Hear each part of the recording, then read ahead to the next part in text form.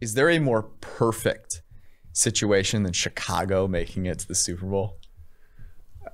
No, Justin I mean, Fields outduels Tom Brady in the in the championship game. I mean, the, the city of Chicago, like you know, the poor Bears fans deserve it. I one think that'd be one of the coolest ways. Plus, plus you know what I love about Justin Fields is he was he was like angry.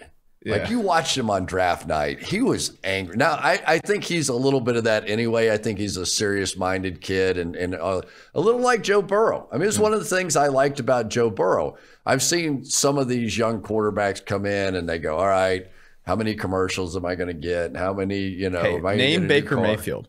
Yeah. I mean, all, all of them, right? I mean, they're all going to do some of that to some extent. Joe Burrow, from the first day he came to Cincinnati, was like locked and loaded. Now, you know, he got hurt, Yeah. whatever. But I think Justin Fields is going to be taken seriously from day one by his teammates up there.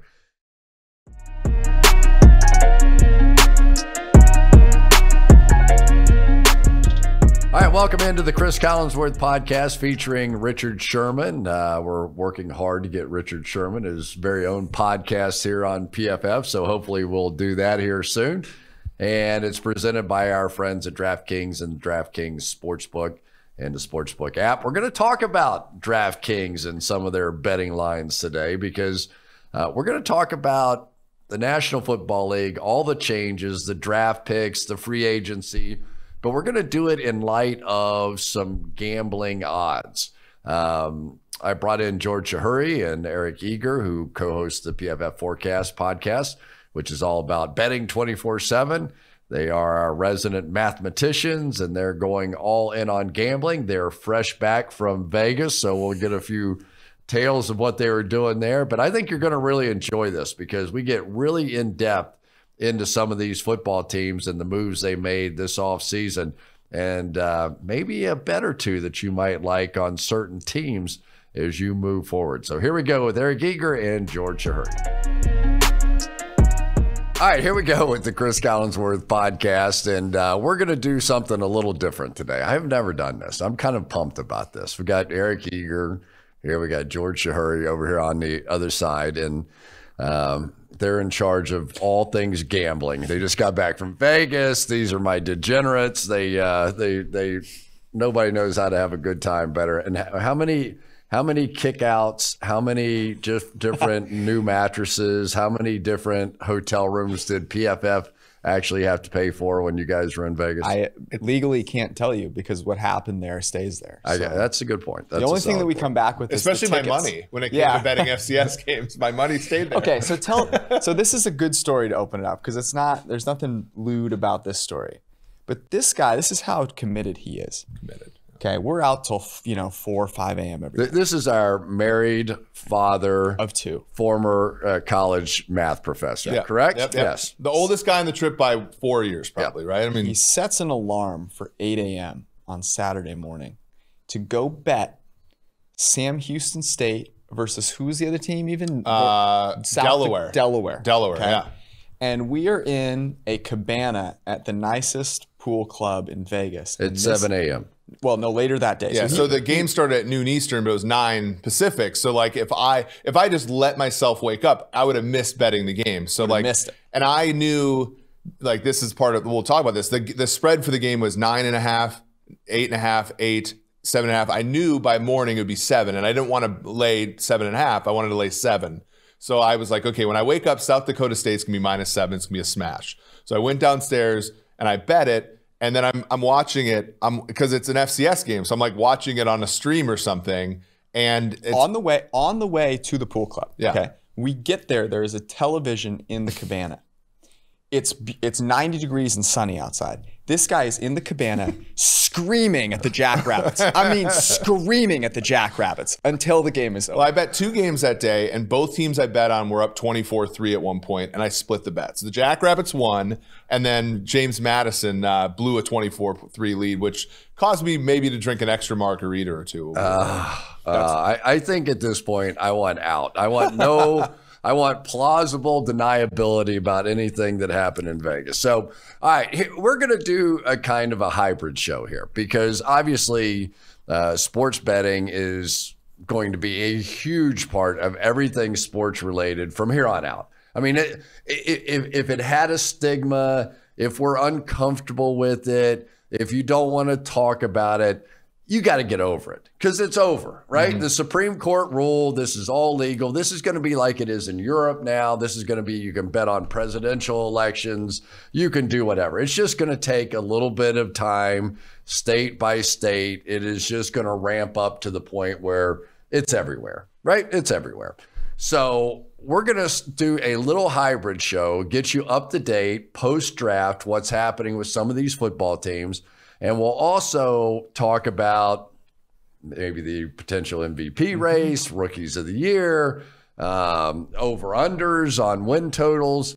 And you guys can explain it to me because I figure if I don't know about this, there's a whole bunch of football fans out there that don't know about this either. And so we'll just kind of start off. Okay. Is that fair? Let's do it. Okay. Let, let's start with the Kansas City Chiefs. Okay.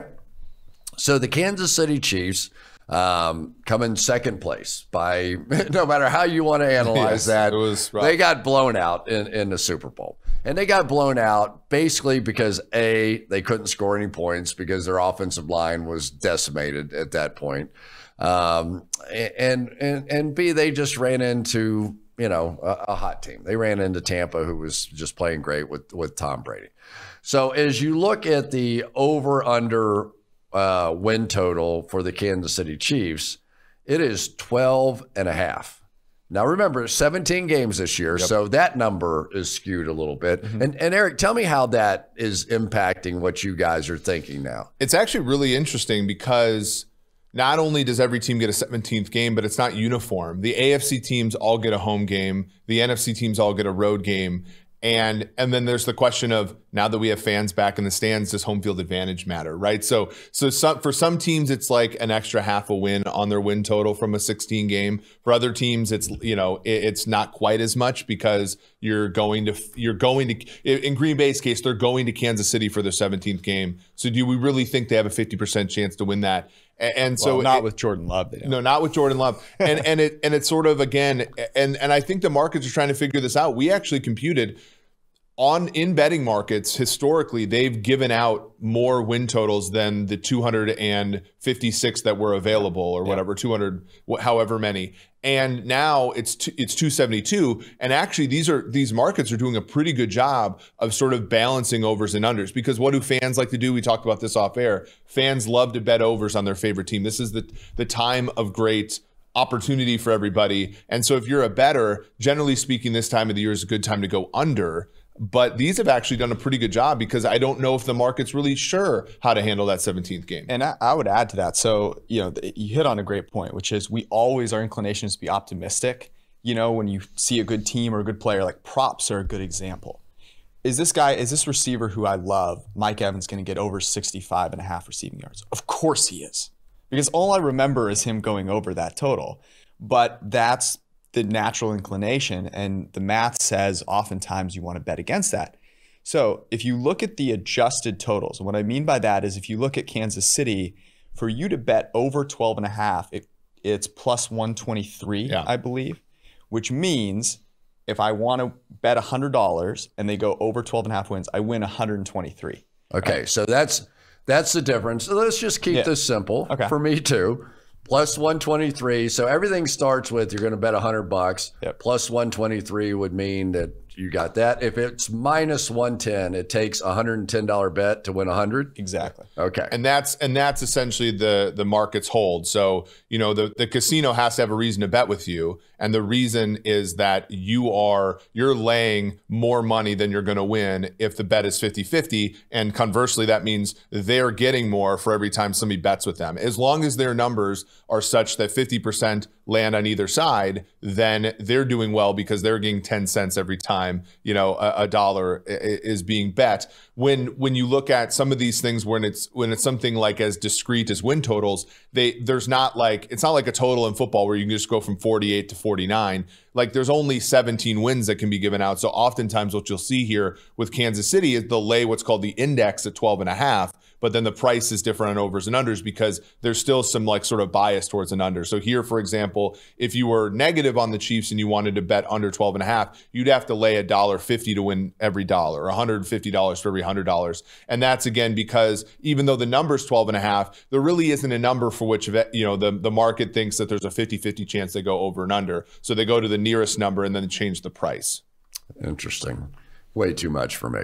All right, so let's talk about the Chiefs just traditionally for a second now. Um, the, the big story here with this football team is basically they've remade their entire offensive line, right? I mean, there's just no way of looking at this uh, any differently. They, have got Orlando Brown that they've signed that came over with basically a trade, came over from the Ravens. Uh, Joe Thuney from the Patriots. Uh, Kyle Long comes out of retirement, mm-hmm. potentially can help. Austin Blythe comes over uh, from the Rams. They draft a center in Creed Humphrey, who was um, two time offensive lineman of the year in, in the Big 12. Uh, they draft Nick Bolton, so they're uh, they have some depth at the at the linebacker position now. But the main story is going to be they fixed this offensive line, and short of Aaron Rodgers going to the Denver Broncos, you got to feel pretty good about where the Kansas City Chiefs sit. And they're the favorites, right? I mean, if you had to say who's the favorite in the NFL this year, it's the Kansas City Chiefs. Yeah, and they I mean they've they've they're somehow a team that's been the favorite to win the Super Bowl for two straight seasons. Actually, I think three straight three seasons. Straight, yeah. And yet in this offseason, they were able to draft, use the draft to get, I think, four starters. They were able to get Jarran Reed from the Seattle Seahawks, who's a good pass rusher, complements Chris Jones. Frank Clark has kind of come up a little uh, you know bad for them in that trade. So they get some they get some help there. Um, you know, they they've made a couple sneaky moves. They they traded for Mike Hughes. They got DeAndre Baker, two former first round picks at corner who have busted. Mm-hmm. But you know, that's their sort of their mo to sort of go in on those. But you look at that, you you have a starter in Humphrey. You have a starter in Bolton, and Noah Gray is a tight end. They've never been able to complement Kelce at that position. And the one place, I mean, you remember opening day against Houston, they tried to jam Clyde Edwards-Helaire into the end zone seven times near the end zone. He couldn't he couldn't make any of them. They've been a team that's been elite offensively, especially between the 20s. But in the red zone, they've only been kind of average over the past few years. It's interesting. And that's what they're trying to do. That's how Tampa got them late in that game when they played in the regular season. That's what I saw. When I watched it, of course, Tyreek Hill went crazy yeah. in the first quarter and had like 800 yards of offense. But when they switched to the zones, especially in the red zone, and they discovered something and it carried right through. They're, they're a team that's that builds their their best players get separation, right? Like Travis Kelce is not a big big guy fade, box a guy out. He's a separator. Tyreek Hill's a separator.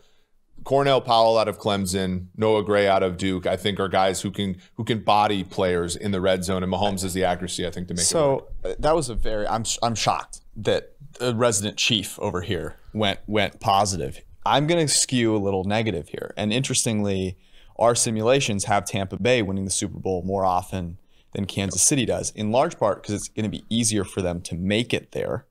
Um, you know, the the NFC not being quite as strong, but. I, I'll say this the red zone issues, I feel as though they made some moves on the offensive line that were compensating for one game where both their tackles were hurt and ignore a couple of other issues, which are maybe in the ends in the red zone, they need a third option.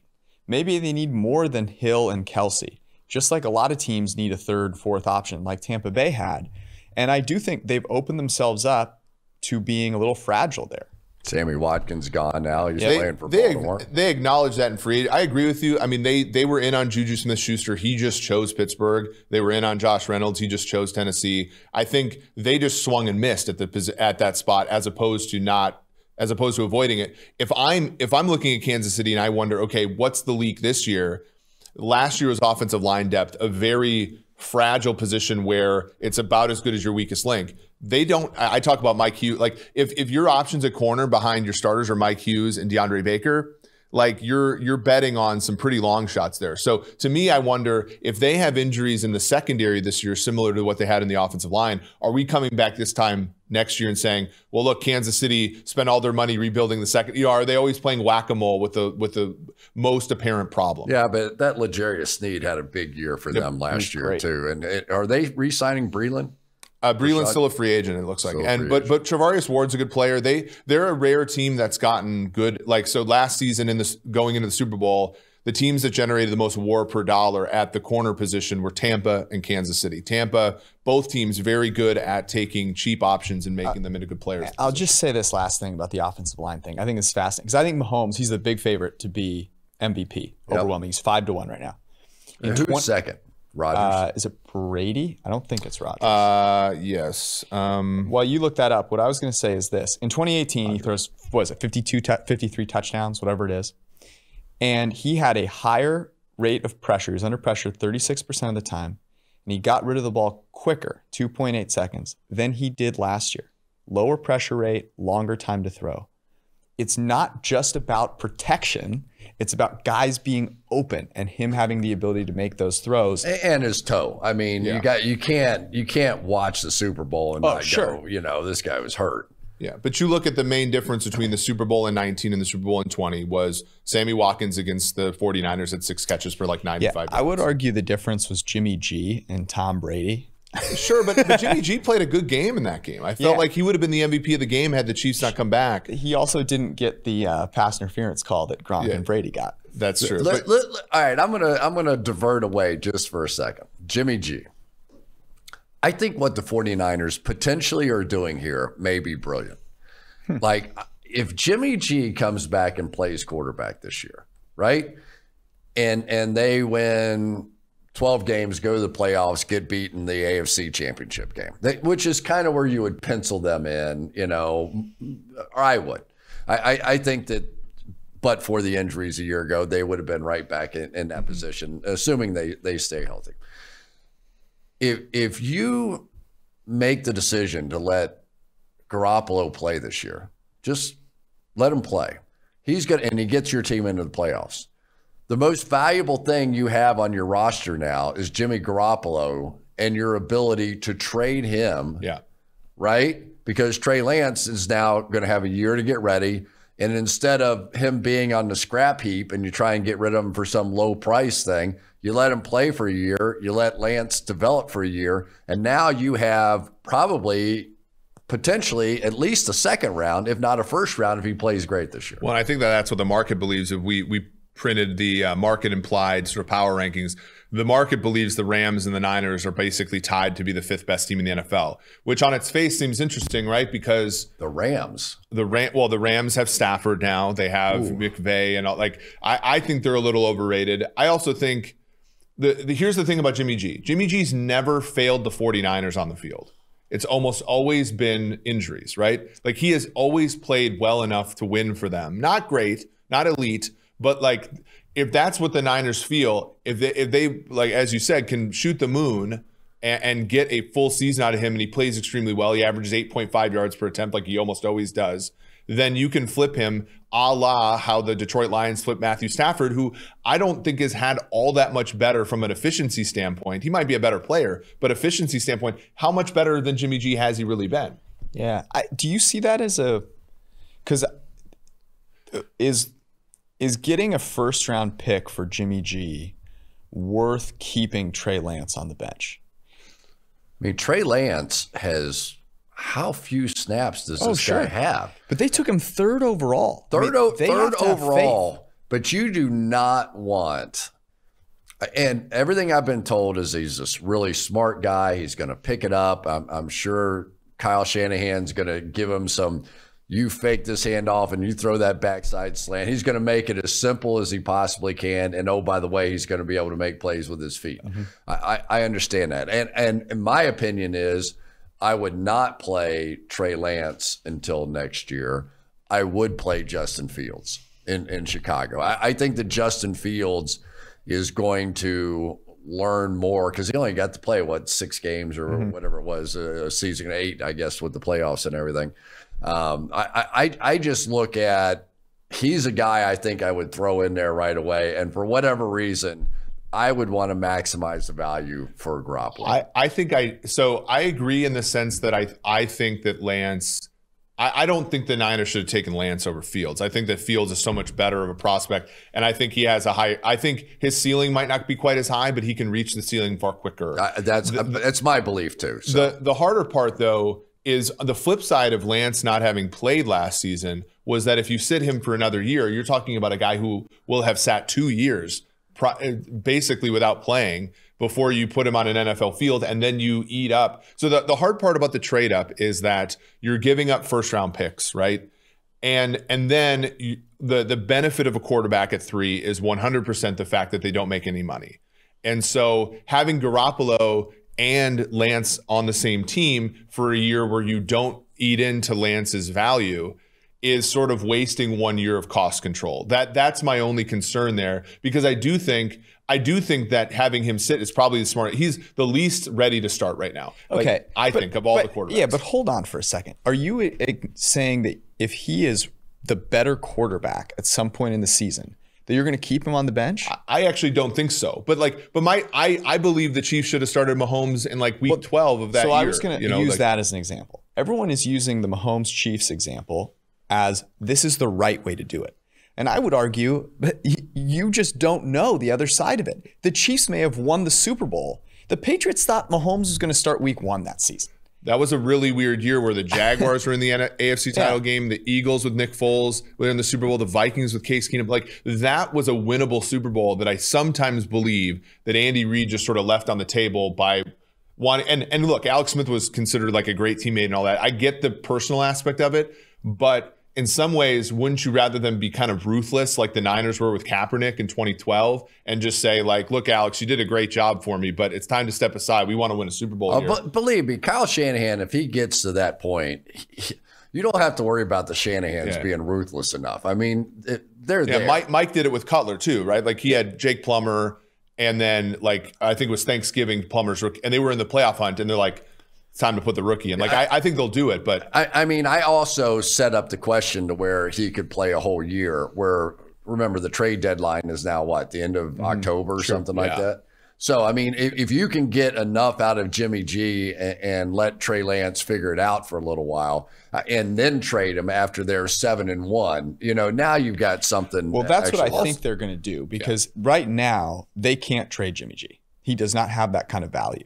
If he comes out and plays well, My point exactly. he'll have value. Well, yeah. But I would say that I would be if Trey Lance is the better quarterback at some at some point in the season, you have to play him. And if he's never the better quarterback at some point in the season, I would be concerned.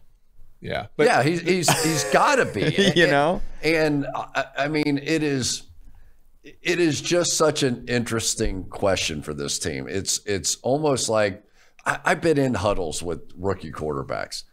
They can't even call the play. I mean, you're sitting there going, oh, "God, are we really?" You know, and it's like mm-hmm. you're, you're breaking the huddle without real confidence. Mm-hmm. And and the Shanahan calls are going to be complex. The running game in San Francisco is as complex as the passing game is, and maybe more complex. Um, so I just think that I, I think at the very least you want Garoppolo having a chance to in some way enhance his value. You know, we always talk about that during draft season, but I think this is one of those times in season you have to give him that chance. It's not like you're doing that in Chicago, right? Mm-hmm. I mean, you're not building Andy Dalton's Yeah. value up the way that you could Garoppolo. Well, and and is there a chance we saw it in Philadelphia with Wentz and Bradford? Is there like I think there's a ton of value in hanging on to him just for the simple fact that every so often there's you know when Tannehill tore his ACL and Cutler had to come back, or you know Bridgewater tears his knee up and they have to trade. Like you even have a situation where if a team gets super desperate, Jimmy oh. G might be a plug and play guy for them. Absolutely. So like if you if you have an injury in preseason, which we're having preseason now, which is different than last year too. Like to me, it's just you have an opportunity to showcase Lance. You have an opportunity for other teams to have injuries, frankly, and so you have a guy who a team might say, "Hey, look, like we're we're deciding between trading for Cam Newton for the Patriots or Jimmy Garoppolo. Do you want to throw us a late one?" All right, let, let, let me move on because you guys said something that that startled me a little bit. The Rams are now the fifth choice along with the 49ers. Yeah. So the Rams, the Rams and the 49ers are currently co-favorites to be the NFC West champion. They're both um, plus 180. The Seahawks, the defending champion, are three to one to win their own division. Pittsburgh is another team that's like that, a defending champion that's more than three to one to win their current both, division. Both the Rams and the Niners have the same win total, 10 and a half. The price on either side is a little different. Um, but basically, Vegas thinks they're right there, neck and neck. And interestingly, and I, I want to ask you this one of the reasons is that they feel the defenses are both very good, the two best defenses in the NFL. How, when you hear that, what com- what are you thinking about? Well, the Rams lost their defensive coordinator too, and but more than that, both did, right? They, they they've lost. And when I looked at the Rams, I mean, their safety John Johnson was their play caller. Green dot. He Yep. was he was their play caller. Uh, Troy Hill is a heck of a player, um, and uh, both of them went to Cleveland. Is that right? Yep. They both go to. Good lord, Cleveland might win the whole friggin' thing this year. And then they on their defensive line, Brockers, Morgan Fox, uh, Ebukam. Um, are, are all key depth parts to to that defensive line. Uh, off the offense now, Blythe and Everett and Josh Reynolds all had significant roles. And this team added two players. They added Stafford in the trade, obviously, uh, and they added DeSean Jackson, who, when he's right, is a game changer. But if he's not right and he can't make it through the season, that means on the field. Tutu Atwell is now going to take and they drafted with their top pick a guy who's basically redundant with Jackson. So it's sort of weird that they use two assets to acquire the same thing. Yeah, right now the Rams are tied for third highest odds to win the Super Bowl with Buffalo. So it's Kansas City, Tampa Bay, and then Buffalo, LA, and then a little bit behind them are the Ravens and the Packers. So the team and and then the Browns. The teams are really like the the markets really like the Rams, and this number has only gone gotten better or worse if you're a better since the Stafford trade. So I, I'm a little worried. So like you talk about like their defense regressing because they lose players. I also think like Leonard Floyd last year had a was involved in 13 sacks and like half of them were cleanups or unblocked. The other half were after four seconds against Russell Wilson, frankly. And so then, so do you get the same production out of him? Do you get the same health out of Donald? Do you get Jalen Ramsey, who we know defensive back play is oscill- oscillatory? Does Ramsey become is he as brilliant next year as the previous? Probably not. Darious Williams, Staley, yeah. Darious Williams as well. Like I think there's a lot here that screams regression, and we're looking at that division, and the best quarterback by a country mile is the three to one third favorite to win that division. To, to me, it seems off. I- I, I just look at this team as a salary cap dump year. I mean, they got killed because when it got it actually was shrunk, that meant all those intermediate players had to go. Right? That I always say it's always great to, to sign a Jalen Ramsey. It's always great uh, to sign Aaron Donald, and, and those big contracts are great and they're sexy and all that. But man, you get to the end, we're playing 17 games now. That means a whole bunch of guys are going to have to be on the field because you're going to have injuries, you're going to have issues. They've already lost their leadership in the back end of this defense, they've lost their defensive coach. For me to anticipate that this defense is going to be what it was a season ago, I can't go there. I mean, I Matthew Stafford maybe an upgrade over Goff, and maybe that's true. Maybe Jackson comes back and has an unbelievable year. But when you said they were like tied for fifth, and I, that one surprised me. What? So let me ask you this then. Okay, so you got Tampa Bay, NFC, Tampa Bay, and then Green Bay, huge question mark. Yeah. Because of Rodgers. So assume Rodgers comes back. He, they're the second best team. If they, he doesn't come back, they're nowhere near it. Who's that next team in the NFC? I think the Browns or the Bills. Well, the Browns are in the AFC. I'm, you- I'm sorry. I thought you were just talking about. Yeah, No, no. 'cause- 'cause- in the because I thought you were saying it was the top five in the league. right? But I'm curious. Like the NFC, it's the Bucs, the Packers if they have Rodgers. But then, like you just talked about the Rams and being not bullish on them.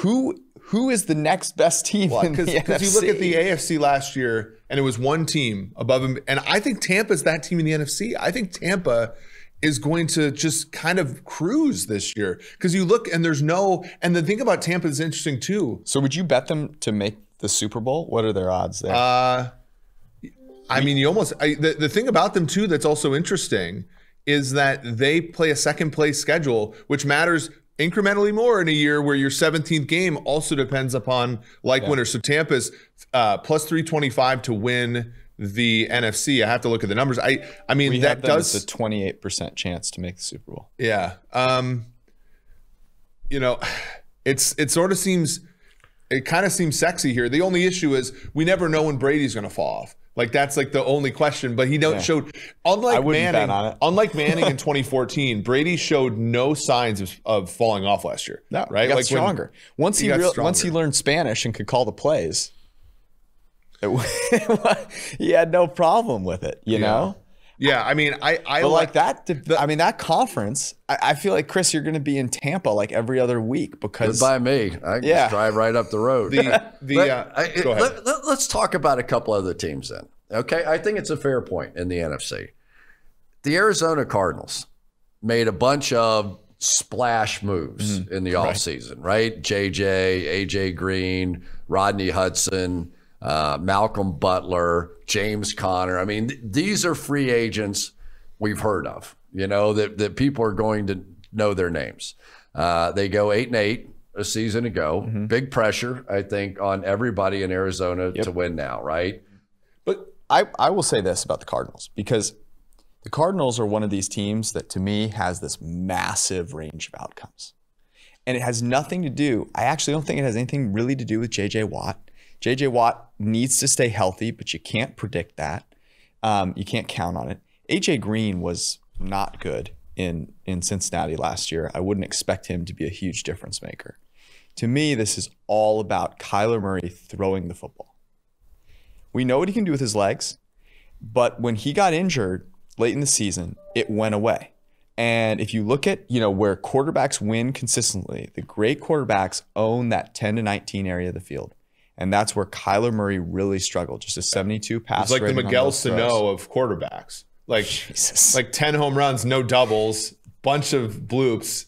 I, I don't even pretend to know who Miguel Sano is. But like But that to me is Yeah. the big thing. Will will Kliff Kingsbury's scheme move DeAndre Hopkins around? Will Kliff Kingsbury's scheme allow Kyler to become more efficient as a passer? If yes, then they could beat anybody. And if no, I think they have a hard time being better than 500.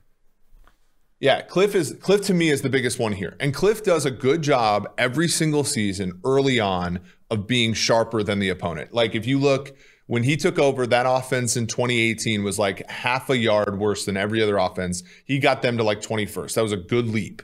Uh, taking that talent. And then last year early on, I thought he would did great. Like midway through the season, you're saying, okay, this this team can actually win. And he got basic. He let the rest of the league run circles around him the last bunch of games to me, he not only has to come out of this, if they're going to go over eight wins, let's say, And that's their win total, by he, the way. minus 134 to the over. If you if you like that, you have to hope that he comes out of the gate gangbusters Mm-hmm. as far as and then he's able to maintain it because the maintenance has been the issue. They have the last two seasons under him have petered out at the end as far as the schematic, as far as all that kind of thing.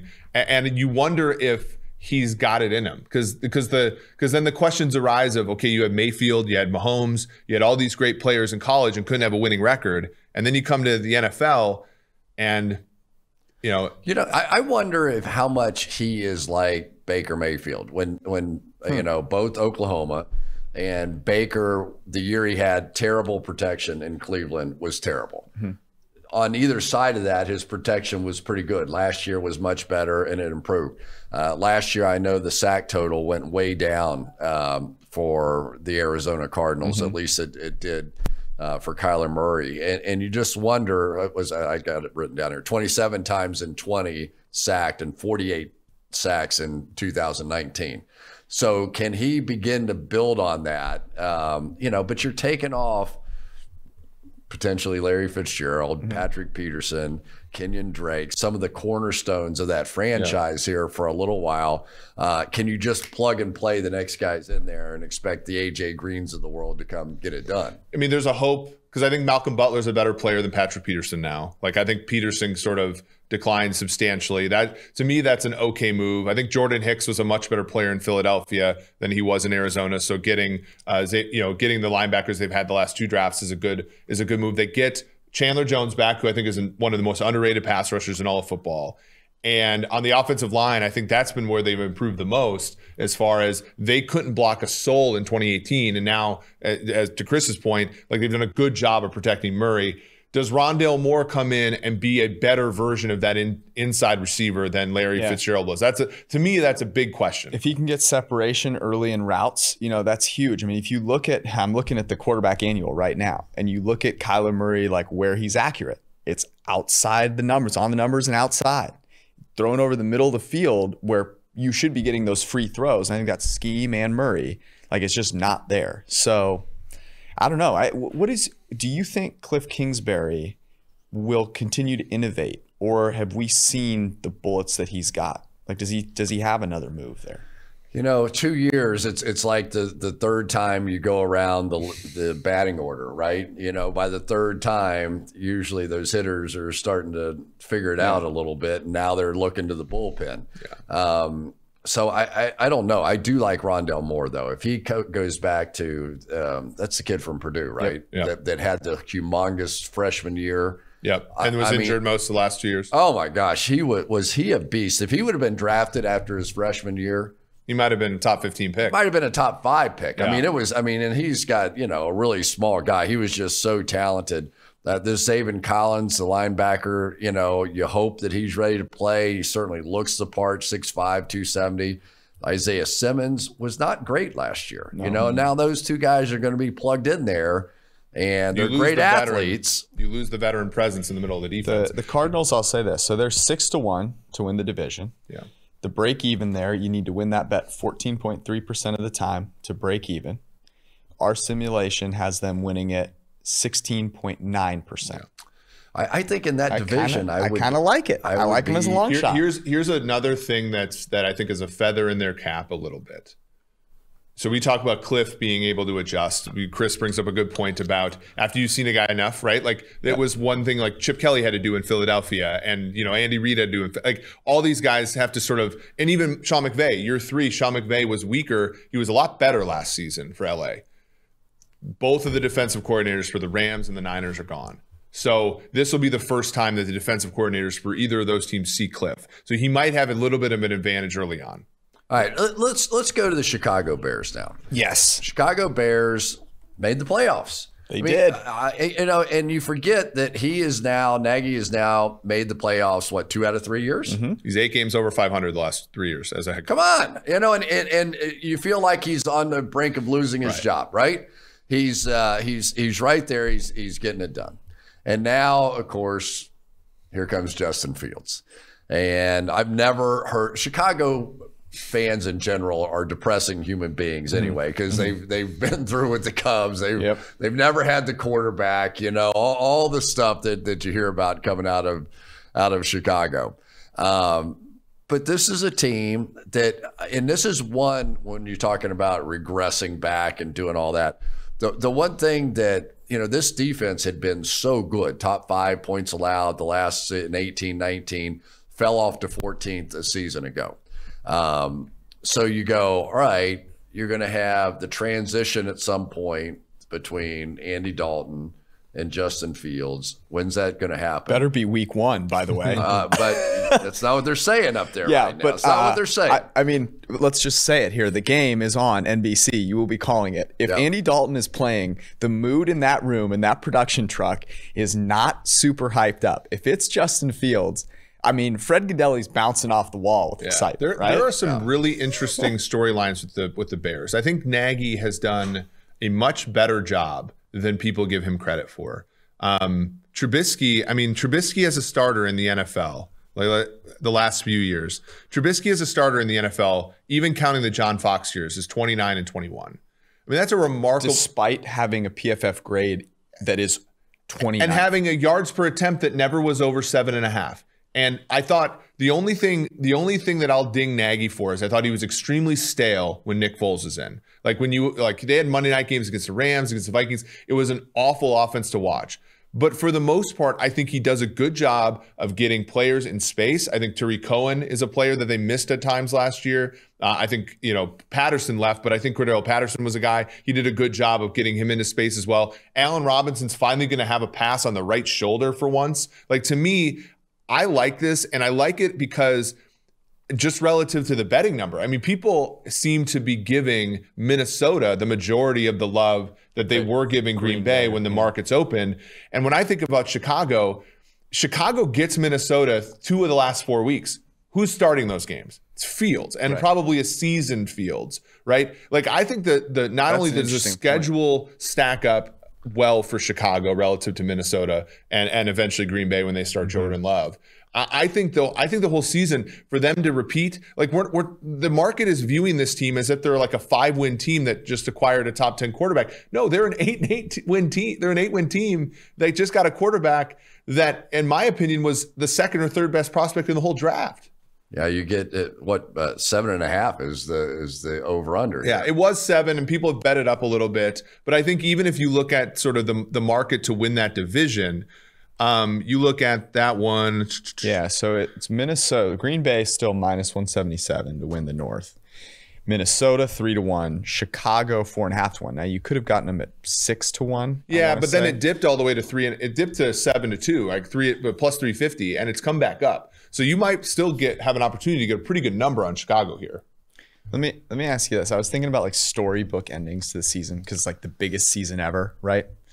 Is there a more perfect situation than Chicago making it to the Super Bowl? No, Justin I mean- Fields outduels Tom Brady in the in the championship game. I mean, the, the city of Chicago, like you know, the poor Bears fans deserve it. I one think that'd be one of the coolest ways. Plus, to plus you know what I love about Justin Fields is he was he was like angry.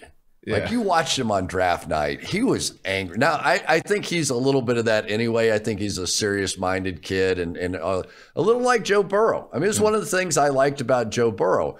I've seen some of these young quarterbacks come in and they go, "All right, how many commercials am I going to get? How many, you know, Hey, am I name a Baker? Mayfield. Yeah. I mean, all, all of them, right? I mean, they're all going to do some of that to some extent. Joe Burrow, from the first day he came to Cincinnati, was like locked and loaded. Now, you know, he got hurt, Yeah. whatever.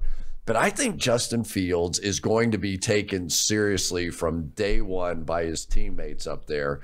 And you can live with that, those, some of those mistakes of a rookie in this season because he's going to make some spectacular plays. He's going to run, and Nagy Nagy's a great guy as far as getting guys misdirection, going there. You know, all the Andy Reid stuff. They'll have he'll have it all working now because now he'll have a quarterback coming out the back end of this thing that can actually throw. They had one that could run.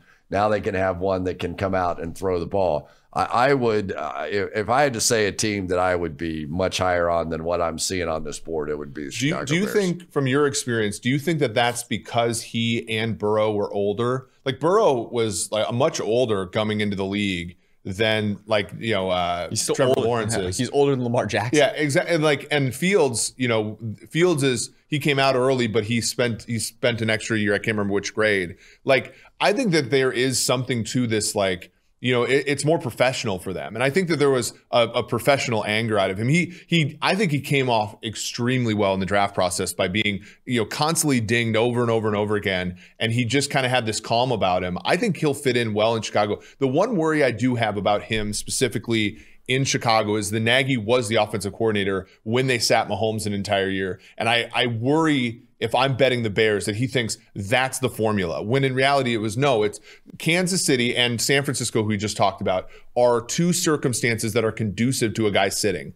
Like Chicago isn't. Chicago needs to get That- off the pot right now, play play Fields, and try to win if he games. feels that way, then he better hope his address and phone number are unlisted because uh, the city of Chicago will be coming for him. Well, and the other part of this, if you're Ryan Pace, the GM, and Matt Nagy, oh yeah, you know, does this buy you a year? Does this oh, lose you a year? Does this get you fired if you don't play him, or if you do play him and he's not good? It's terrible. You yeah. know, which, which which one is the worst of the two angles? yeah. I mean, you got to hope that he shows something in you know in preparation where you go, okay, I'm excited to play this guy. I don't think Andy Dalton is that high of a bar there. What I think is really interesting is the like I was thinking about this with head coaches. So you have a quarterback the last year, the quarterback situation. Matt Nagy does not go into weekly prep for Nick Foles or Mitch Trubisky and get excited about, Yeah. you know, diagnosing defenses and, and play calling. I feel like maybe for the first time since becoming a head coach, he'll have the excitement of my quarterback can execute some cool stuff. And I'm excited to see that because, by all accounts, Matt Nagy was one of those guys in Kansas City that was a part of that, one of the most creative offenses.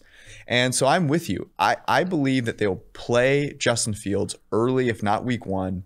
And if Green Bay doesn't have Aaron Rodgers, Chicago and not Minnesota is the team that I think wins that. Chris, here's a betting related question. Last season, your first Sunday night game was Rams, uh, Cowboys. Cowboys, I think, close favorite. Rams upset the Cowboys. It was pretty uh, surprising result. This season on Sunday Night Football, Week One, the Bears plus seven against the Rams. All the things you said about the Rams, all the things we've said about the Bears. Chicago plus seven, a good bet. I would be on it.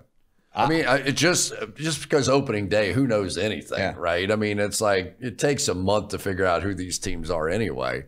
Um, so, but I, I, I, I don't. I think the I think the Bears' defense is better than what they did. Now they lose some cornerbacks this year. That's Yeah, Fuller. Fuller. They lose uh, Skrine. They lose, you know, so uh, who knows what that means. Um, uh, but, you know, we haven't even talked about uh, the second round pick, but they, they move up again Get Teven 13 Jenkins, spots and get Teven Jenkins, you know, which, uh, and both their tackles, if I'm not mistaken, both are in the final year of their contracts. So he could end up on the right side or left side as we move forward here uh, a year from now. Uh, but I, I, I you know, th- this has gone from a team that, in my mind, sort of felt like what was the plan? You know, we were talking about Russell Wilson, we were talking about Deshaun Watson. But if you had your choice right now, would you rather have Russell Wilson in that contract or Justin Fields and the much cheaper contract, not even a top five pick, right? Yeah, yeah.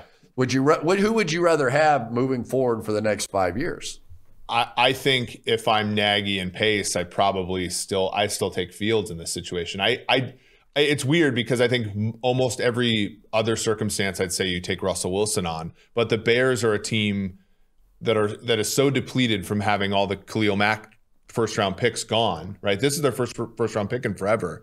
That if you bring if you bring in Wilson and further deplete the roster, like it might it might and Wilson, you know, you could wonder if he's declining or not or whatever. To me, I think Fields does a great job because you have a, a small contract. The bar is lower for quarterbacks on rookie deals, and you can come in and backfill now the rest of the roster Well, and because plus you're you not would have had committed. to give up all those draft picks Exactly. for the next two or I mean, three they're in the, that's the same condition the Rams are in, right? The Rams are not going to have a first round pick for like five years now. Like my kids are going to be in college by the time the Rams pick in the first round again, and so they, think about all the pressure that goes on Stafford there.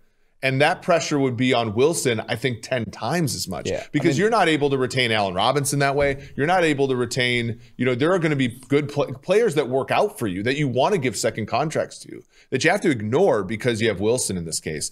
A- In addition to just say taking huge lottery tickets on the draft picks you have in rounds two and later. it- they would have looked very similar to how the Seahawks look, where it's just like Yeah. we're trying to pay a lot of guys, and we're not going to be able to pay that many. The quarterback's going to have to make up for that. And I'm I'm with you. I, look, Justin Fields to me was a guy that was not in the conversation, should not have been in the conversation for any pick past three. So yes, I want a guy that could arguably be the number one pick at a cheap cost with that type of talent around him. Like that to me is the way that you get yourself into competition for Super Bowl. They're 22 to 1 to make the Super Bowl out of the NFC. They're 50 to 1 to win it. Those are my long shot bets that I do like.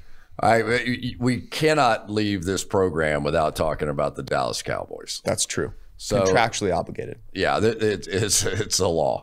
Um, three three Cowboys games again this year. Love it. Opening night against I mean, Tampa Bay. It's the greatest opening night game Sunday Night Football has ever had, ever, ever, ever. So it's going to be And you and you guys got New England Tampa Bay. I mean, what a incredible. Fred. You're gonna you're gonna be the only one that gets into that stadium for less than three grand. I might sell my seat. I could probably get 15 grand for my seat up there. I'll just stand over there somewhere in the corner and call it a day. Um, so the Cowboys, here we go. So the big move, uh, of course, on the defensive side, Dan Quinn comes over. Mike Nolan is out. Um, and they the only negative, I guess, for them would be they were really thinking they're going to get a cornerback, right? Almost under no circumstances mm-hmm. were one of those two corners not going to end up falling to them. Uh, it doesn't work out that way. They trade out of the the pick, um, and then they but they do go on to draft eight of eleven players uh, on the defensive side. Their defense was simply terrible a year ago.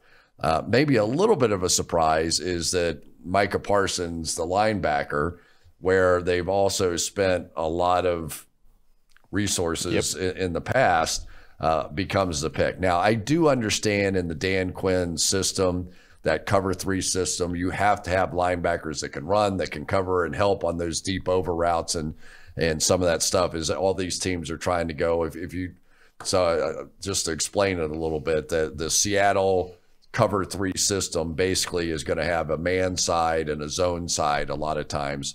And so what they want to do is clear somebody out on the man side and run somebody across the field uh, into that open space because there's not really zone coverage on that that man side.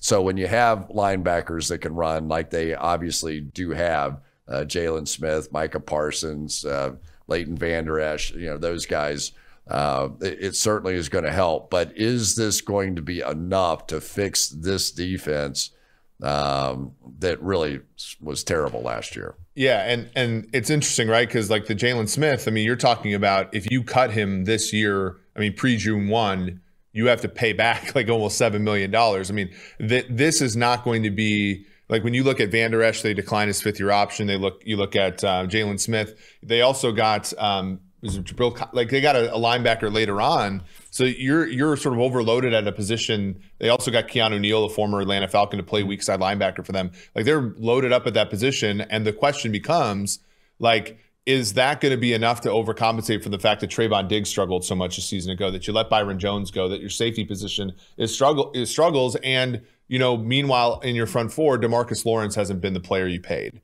right? Like, I wonder if they focused on the wrong place in this defense because, as you said, there is a, a cover three aspect to this, but the it's still the most important positions are defensive back and defensive line, and I don't know if they've gotten appreciably better there. Win total is nine and a half. Um, last year, I remember saying this. We were like, okay, was this the year for the Cowboys? It's like, I'm going to wait a year. Okay. I don't think it's going to be this year. I'm going to wait a year. And so technically, I should be very high on the Dallas Cowboys. And I think I I can get myself there. I'm still nervous about the the defense giving up like 35 points a game. And I, I, like I don't Me too. I I look at rookies and I think this is an important thing for people to remember. Rookies are drafted not to help you just this year. Okay? Like if you have a rookie class and you're going, "Hey man, this rookie class is going to fix everything this year." You're delusional. So to expect those rookies to come in and make a huge difference, especially, you know, at linebacker, I don't know that I I can trust that. The one thing I'll say is this. Mike Nolan, and I remember Richard talking about this, you know, over the course of the season. Mike Nolan's scheme did not help those players out. They were confused left and right. And if Dan Quinn at least alleviates that problem and they know what they're supposed to do, then they can probably get into like the 20 to 25 range in terms of defenses. But I'll say this, man. I don't know that they're better than the Washington football team. I, I I'll disagree there. I think I, I think that the Washington football team has all of the characteristics of regression that we're that that we are not necessarily like buying into yet. Like the defense has added some players for sure. Um, but they also lost Ronald Darby. They also like defense is is a is a thing that sort of oscillates year to year. And then on the other side of the ball, they added weapons, but we're on what year three or four of Ryan Fitzpatrick being a pretty good quarterback. Like, are we ready? Uh, have, eh, but in spurts, Tampa was six games at a time. Miami is six games at a time. Like, are we re- are we really buying into him and Taylor Heinicke for 17 games? Being able to play offense well enough where if you strip it all down, it's those two guys versus Dak. I'm not that that's a bet I'm not willing. Like at the price, I mean at plus 400 where it used to be, sure, but at plus 260, I, I am not a very huge, high on Dak. You're very high on Dak, and he was great last year. He was great. Dak's was, been great the last two years. It's a small sample of games. It, it's hard to assume that you come back from that knee injury ready to go. I mean, uh, uh, you look at Roethlisberger a year ago off of that injury. Uh, Joe Burrow is going to have the same question coming up this year. Uh, Washington, the the one thing that, uh, the one place, if I were making wagers in Vegas, that I would feel like I could take advantage a little bit is I think everybody bets offense. You know, people are betting the Dallas Cowboys because Dak's back and they've got the receivers and they've got Ezekiel Elliott, which you can argue that one all you want. Um, but I, I, when you look at what Washington has up front on that defensive line, I mean, they are beasts across the front line. I mean, they sure. really are. You you go Jonathan Allen, uh, Da'Ron Payne, Montez Sweat, Chase lot, Young. A lot of first round picks. All, all of them first round yep. picks, right? That are, are just loaded up there. Um, and, you know, Dallas's offensive line is still going to be, you know, what are they going to end up being? I, I, I think defense has a way of keeping you in games longer, and maybe during a 17 game season, as people fall off on the offensive side, hmm. I, I would I would look defense first, and then come back to what I assume everybody knows about is on the offense. Well, that that's where I'll I'll go and say where the best bet is to win this division is actually very much what you're saying, but it's the Giants at three, you know, plus 350. Patrick Graham's defense last year was very good. They were. They, they go ahead and they get uh, Blake Mar- uh, Blake Martinez goes from being a bad player in Green Bay, being a pretty good one last year. Uh, Jabril Peppers is a good player. James Bradberry, now that he's not facing every NFC South wide receiver, Actually turns good. into Deion Sanders last season. And then, you know, Leonard Williams is a good player. That team is where I, you know, bringing up George's point, if you get growth from Andrew Thomas, who was pretty poor last year as the number four pick. Matt Peart out of UConn, another tackle that they took. Will Hernandez. If you get if you get some growth out of the offensive line, you look at the weapons that they have. You're talking about Kadarius Toney, Kenny Golladay, uh, Evan Engram, now Kelvin Benjamin, a former first round pick, playing tight end for them. You have obviously Barkley coming back. To me, Daniel Jones is the breakout candidate that you know, they're going to find out if Daniel Jones is any good. If he stinks, it's going to be pretty apparent because there's going to be receivers open everywhere for that team, and that defense is not going to not going to put him in situations where he has to score 30 to win. You can go read our thoughts on the Giants on pff.com on our win totals tracker. People have said we hated the Giants in years past. Not this year. Not this year. Every team has what, a What is the over under for them? The over under for seven. the Giants. Seven. Wow, really? Yeah, seven and ten seven. It's juiced to the over, over. minus one thirty. But I, I still think. I mean, I would still take it because because it's a it's a it's not a great division. The Eagles I think are going to lay down this year. That's going to be two wins right there. Then you can split with the other teams, and then you're you're facing the third place schedule, like you know, or no, yeah. second place schedule. They finished second. I also here's a conjecture I have, Chris, and I'm curious what you think about this.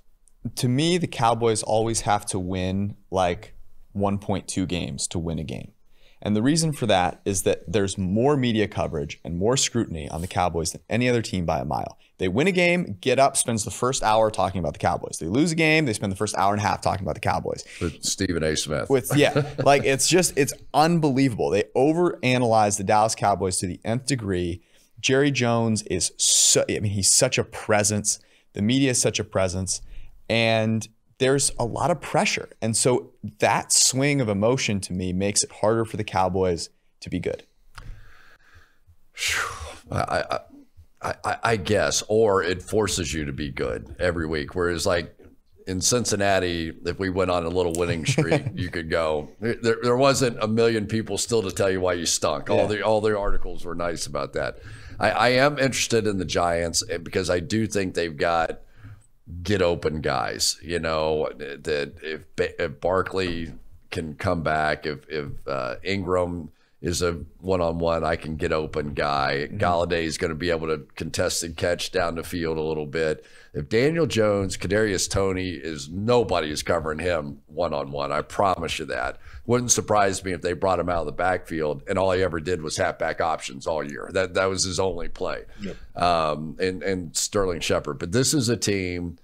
If if Daniel Jones can get protected, you know, enough, he's going to have enough guys open quickly. The comparisons were always to the Manning family coming out of, of Duke, right? This is the time Don't hold the ball. Get it out of your hands. Somebody's going to be open quickly, and it could be a formula for success. I would see. I, now I understand why everybody goes over. Like you can always make the case Yeah. for why a team's going to go- do good, and what you can't anticipate is this guy got hurt and that guy got hurt, and you you don't know. Well, I think that the way to curb that is to take long shots on teams that you that are weaker, right? So the the way to what you don't want to do is lay minus 300 for the Chiefs to win the AFC West, right? Because if you are wrong, you're going to lose your shirt. If if you if you like the Giants, I feel like just betting them to win if you you only have to win that bet like a little over 20% of the time that's the way i think to buy into a lot of these sort of teams where it's a long shot right if you go bears to win the north giants to win the east Yep. Seahawks to win the West. Like if you win one of those, you break even, and if you win two of them, you're having you're going back to Vegas. All right, you guys promo your own show for a minute here. Tell us what's coming up this week. What do we uh, what do we have going on? We have a good show this week. We have um, we're starting our divisional betting previews. We're gonna go through every division. We're starting with the NFC North, and we have Aaron Nagler on. So Aaron Nagler covers the Packers. We have at one point feuded with Aaron Nagler. He has cursed us out on his program. He's then come on the program and cursed us out on our program. It's always a great time. And I'm going to make him defend the Packers in this Aaron Rodgers uh, debacle. Our show is called the PFF Forecast. It is every single Sunday night and every single Wednesday night on this on YouTube, iTunes. All that You good guys do the work of it's impossible. Like after all the games, and you guys are just burning hot with with opinions, and you're mad, and you've won a few bets, you've lost a few bets, you're finger pointing. It's one of the more entertaining shows, but it is truly like the first podcast that you could listen to after Sunday night football. We come straight down here, bleary eyed. Uh, if I forget the cold brew coffee, it can be a real tough sell. It's always fun though when like a team. So like last season, George stuck his neck out on Pittsburgh. Pittsburgh got blown out by Buffalo, and then they got, and then like just a few weeks later, they got blown out by Cleveland in the playoffs. Yeah. Those are fun because obviously, when you take stands on on things, people call you an idiot. People oh. say things about Oh. you, as you know, oh. probably way better than we do. But I always say, what's great about betting is you can like you can take a stand yourself right you don't like if somebody if somebody doesn't like the giants you can short the giants if somebody doesn't like the bears you you don't have to tell me about it you can go and wager your own money on it I mean, you had Ben Roethlisberger fired up. I had to go do a, the playoff game, some of those games late in the year. He was coming after me, and I said, "Wait a minute, this is not me." But you called it. You were like, on, "Did you actually call?" Like they were eleven and zero, yep. They won right? they eleven and so zero, and you week- called the collapse of the Pittsburgh Steelers. The week that I they won one more game, but it was the Wednesday game against Baltimore. And remember who they played at quarterback? They that was your R- game th- right? Believe me, RG I'm never going to forget. That. They forget had that. RG3 and Trace McSorley. They almost lost that game. And when they play that game, I go, I think we're well then they something. they did win they did so they were 10 and 0 when you said it then they won that game then they got blown out a few times and then they were getting blown out by indianapolis and That's then right. They they, they, came back and won because Ben threw the ball over 10 yards downfield for once. And that saved them. I believe they probably they would not have won the remember they lost the Bengals over here on Monday Oh, night. It was a trophy. I very well remember Yeah, that they, they collapsed big time. And then the funniest part about it was the week 17 game, they're starting Mason Rudolph and they give the Browns a game. Browns need to win to get in the playoffs. Mm-hmm. Then they start all their starters the following week and get blown out. It, But- it was a very weird year for them. So, do you think Pittsburgh comes back with that same quick throw offense this year, or do they? Now you've got Ben with another year recovered with the arm. They've got down the field threats that they can play with. They're not going to be able to run the ball no matter who they drafted. I don't care Najee and all that stuff.